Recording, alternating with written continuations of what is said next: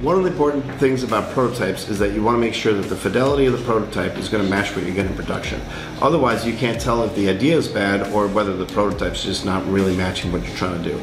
So when we use a Method XL, we know we're going to get great ABS parts that we can match in injection molding.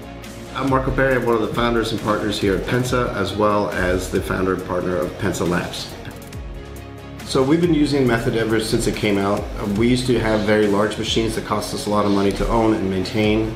We started using the Method, which allowed anybody to use it and it was not something that we had to track too tightly. So then when we started with the PLA machines uh, onto the ABS machines and now the XL machines, we were able to scale our production and also our prototypes.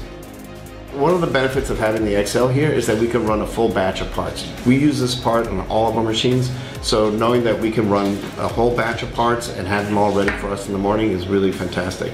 Pensa Labs is now working on uh, our new machine, the C64, which can bend and cut uh, in 3D a quarter inch material all the way down to a tenth of an inch.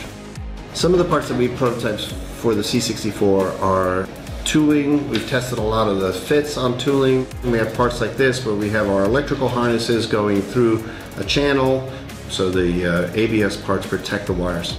There's multiple ways we've saved time and money using Method XL. Uh, the machine is working for us overnight, over the weekend when we're not here. So it's actually doing a lot of work that we couldn't, and I get a part reliably every time.